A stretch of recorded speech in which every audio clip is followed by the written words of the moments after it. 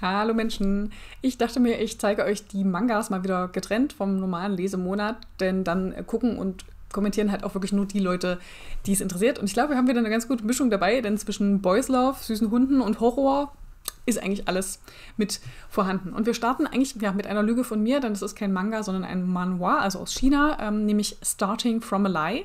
Und ich muss zugeben, dass mich zu dem Buch vor allem die in meinen Augen wunderschönen, zarten Zeichnungen ähm, gezogen haben. Äh, es ist bunt, aber was mich an diesen Webtoons oft stört, ist, dass sie so, das sieht wirklich so einfach aus wie am Computer einfach eingefärbt, irgendwie so ein bisschen so, so plakativ oder, oder so flach, finde ich. Und das hier waren aber eher so Masterfarbenzeichnungen. Also kann schon sein, dass es auch am Computer gemacht ist, aber halt wirklich ein mich mehr ansprechender Stil.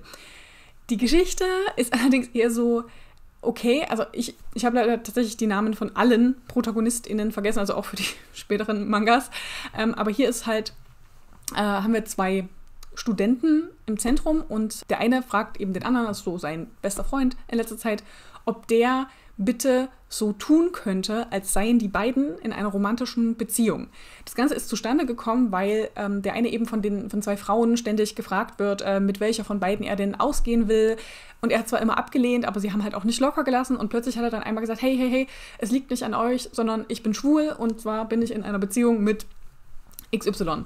Das heißt, die beiden tun jetzt also in der Öffentlichkeit so, als seien sie zusammen und Überraschung. Also vielleicht mag der eine den anderen ja wirklich, denn das ist eben eine Boys Love-Geschichte.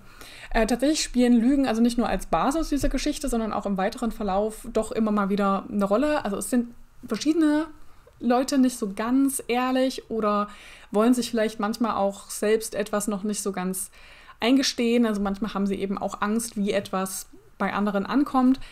Und ich meine, ich kann das Buch jetzt natürlich schlecht für etwas kritisieren, was eben auch schon auf dem, dem Klappentext stand und die Prämisse des Ganzen ist. Aber tatsächlich ist so dieses, wir tun so, als ob wir zusammen sind und wollen uns aber unsere wahren Gefühle nicht eingestehen, nicht so meine liebste Ausgangslage für eine Geschichte. Und jetzt kann man natürlich fragen, warum zum Teufel ich es dann, denn dann gelesen habe, aber das war eben, weil ich die Zeichnungen so schön fand. Ähm, und zwischendurch gibt es dann zum Beispiel eben auch mal so, so kleine, niedliche und der Humor hat tatsächlich auch für mich funktioniert, aber eben auch eher so melancholisch zarte eben. Und äh, da das Ganze, soweit ich richtig informiert bin, in zwei Bänden abgeschlossen ist, würde ich auf jeden Fall noch weiterlesen, auch wenn es vielleicht nicht meine aller, allerliebste Geschichte ist. Ich hoffe halt einfach, dass wir dann wirklich demnächst diese Lügengespinste irgendwie klären können und dass es dann eben auch vorangeht, in welcher Form auch immer. Aber ja, die Zeichnungen haben mir wirklich sehr gut gefallen. Und wir machen mit einer ähnlichen Begeisterung für die Zeichnungen weiter, nämlich der zweite Band von diesem Hashtag Dracula, Dracul, das ist jetzt endlich erschienen. Und ich bin weiterhin wirklich begeistert, wie dort diese Details gezeichnet werden. Ne? Also das ist so gut ausgearbeitet, was so Kleidung, Haare oder auch Architektur betrifft. Das ist mm, wirklich richtig, richtig schön gemacht. Und ich mochte jetzt auch tatsächlich die inhaltliche Entwicklung hier in Band 2, denn wir folgen ja unter anderem mehreren Jugendlichen in so einem Elite-Internat wo ich anfangs dachte, oh, warum in der, in der Dracula-Geschichte jetzt unbedingt diese Jugendlichen hier im Zentrum? Es geht aber, ne? Also nachdem die jetzt quasi in Band 1 etabliert wurden und da war noch so ein bisschen Gängelei, wird es jetzt aber durchaus düsterer. Van Helsing ist zum Beispiel auch schon aufgetaucht. Also es geht, es geht voran. Es, es wird jetzt eher wirklich so eine düstere Gothic-Geschichte, sage ich mal. Und ich finde sogar, also ehrlich gesagt, das noch ein bisschen mehr als Starting from a Lie, was mir zwar auch gefällt, aber das hier finde ich wirklich ganz, ganz große Kunst. Also da müsste inhaltlich etwas total schief gehen, dass ich das nicht mehr weiterverfolge, weil ich das wirklich einfach so gerne angucke. Also ich bin nämlich zum Beispiel gar nicht so die größte oder der größte Vampir-Fan, aber weil ich das ästhetisch so unglaublich ansprechend finde, ähm, bin ich ja definitiv dabei. Ähm, das gefällt mir und ja, also viel mehr kann ich jetzt zu Band 2 gar nicht sagen. Bin aber gespannt darauf, wenn es jetzt vielleicht eben noch ein bisschen, noch, noch mehr irgendwie düsterer, blutiger, schlimmer alles wird. So, dann gehen wir in eine vollkommen andere Richtung, nämlich dem dritten Band von One Room Dog. Das ist ja ein Manga über den Alltag mit einem großen, flauschigen Hund. Und ich habe einen großen, flauschigen Hund.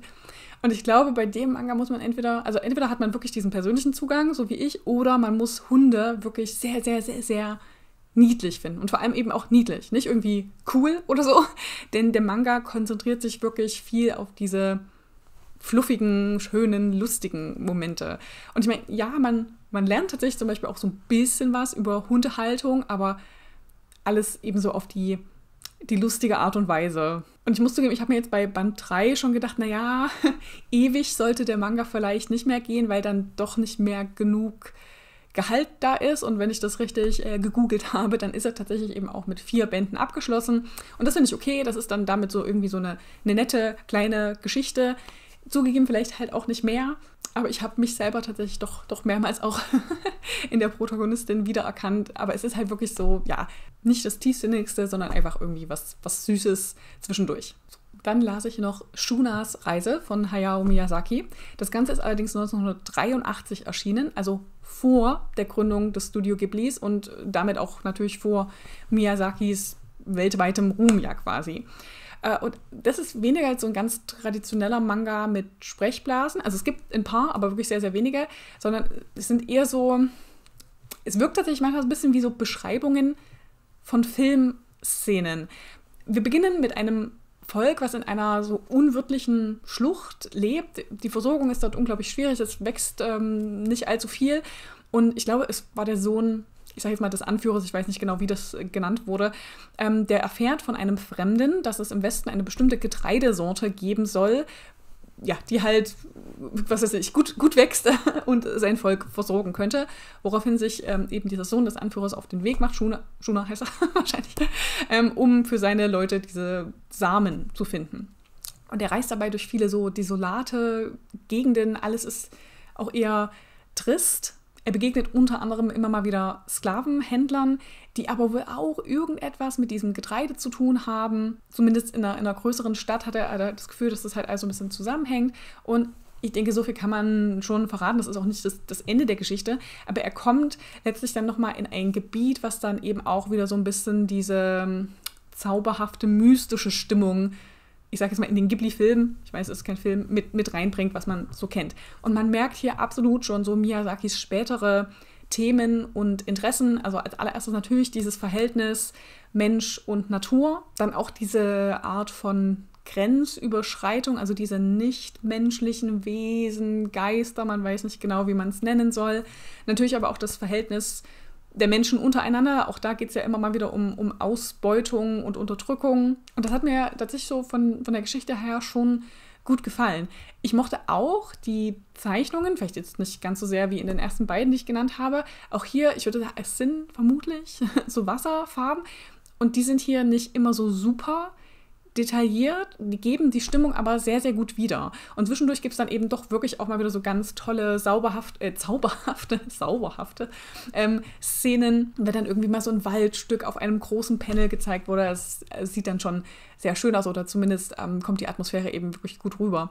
Nur, das muss ich halt nochmal betonen, ihr braucht, glaube ich, hier wirklich die, die richtigen Erwartungen, weil es eben nicht so ein traditioneller Manga ist. Also wir haben wenig Dialoge und unser Protagonist macht zwar schon eine Wandlung durch, aber da ja alles so sporadisch beschrieben wird, gibt es jetzt nicht so direkt eine Charakterentwicklung oder so, dass man jetzt, ja, man ist jetzt zum Beispiel auch nicht in seinen Gedanken oder so. Das muss man einfach vorher wissen, glaube ich, worauf man sich drauf einlässt. Und was ich sehr witzig fand, hinten ist ein Nachwort des Autors eben auch aus dem Jahr 1983, in dem er sich darüber aufregt, dass es leider unmöglich ist, so etwas, ähm, also diese Geschichte in Japan als Animationsfilm zu veröffentlichen. Das hat er nämlich probiert und ähm, ja, keiner hat ihm quasi Geld dafür gegeben. Also hat er es eben so gemacht in, in Form eines Buches. Und das fand ich dann halt schon so ein bisschen lustig, weil heutzutage würden die Leute ihm wahrscheinlich Geld hinterherwerfen, damit er einen neuen Animationsfilm macht. Also hat er, hat er ja, um genau zu sein, gerade vor kurzem.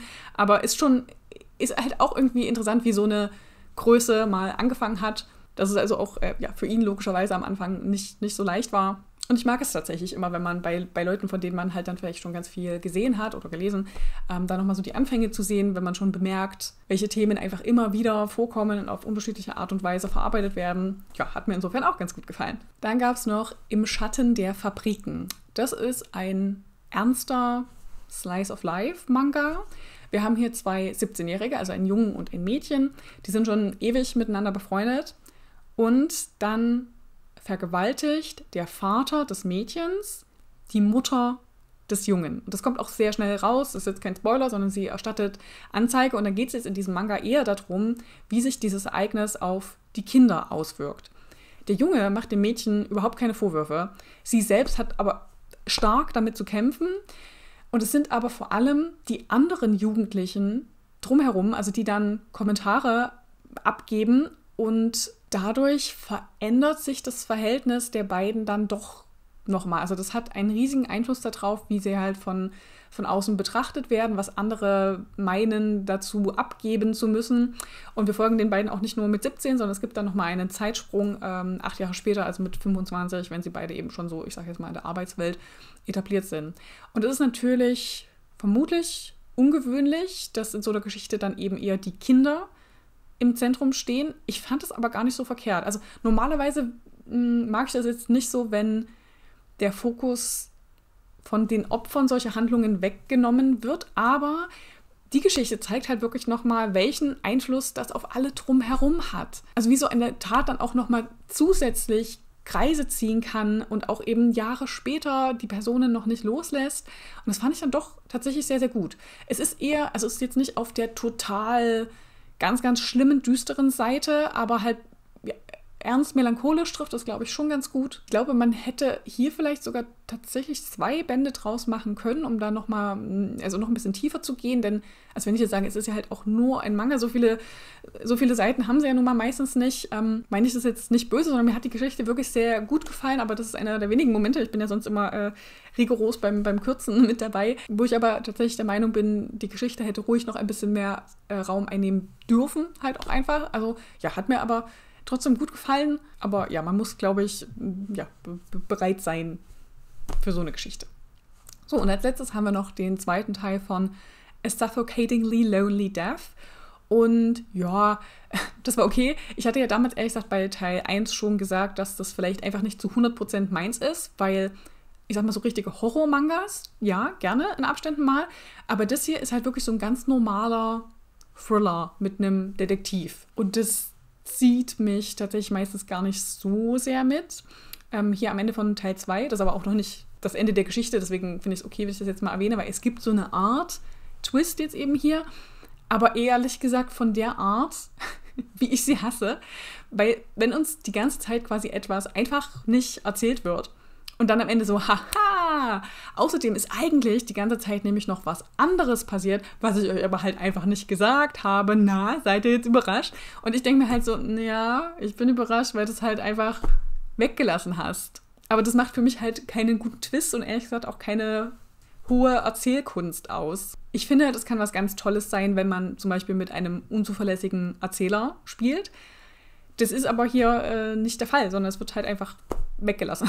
Das heißt, hier wäre erst gesagt mein Fazit, ich schaue vielleicht in Teil 3 nochmal rein, wenn es halt bei uns auf Arbeit mit reinkommt, aber es kann auch sein, dass ich das abbreche. Ist auf jeden Fall keine Reihe, an der jetzt so total mein Herz hängt. Ja, und das waren auch schon die Mangas der letzten Zeit. Ich weiß gar nicht so richtig, warum ich jetzt schon eine Weile keine Comics mehr gelesen habe, aber vielleicht weil Comics noch teurer sind als Mangas und wir gar nicht so unglaublich viele auf Arbeit haben. Also ich gebe auch gerne Geld für, für gute Kunst, für gute Comics und so aus, aber man muss ja irgendwie auch erstmal davon erfahren. Also ich bin gespannt auf eure Kommentare. Ihr könnt mir gerne Empfehlungen dalassen, egal in welche Richtung. Ähm, es kann sein, ich brauche ja mal ein bisschen, äh, um mich an Empfehlungen zu machen, aber ich schreibe sie mir alle auf, wenn, wenn mich das wirklich auch anspricht. Und ja, ansonsten lasst mir gerne da, was ihr von denen haltet, die ich euch jetzt gerade vorgestellt habe. Irgendwas zwischen niedlichen Hunden und Dracula äh, hat hoffentlich euer Interesse geweckt. Und dann danke ich euch jetzt erstmal fürs Zuschauen und ich hoffe, wir sehen uns das nächste Mal.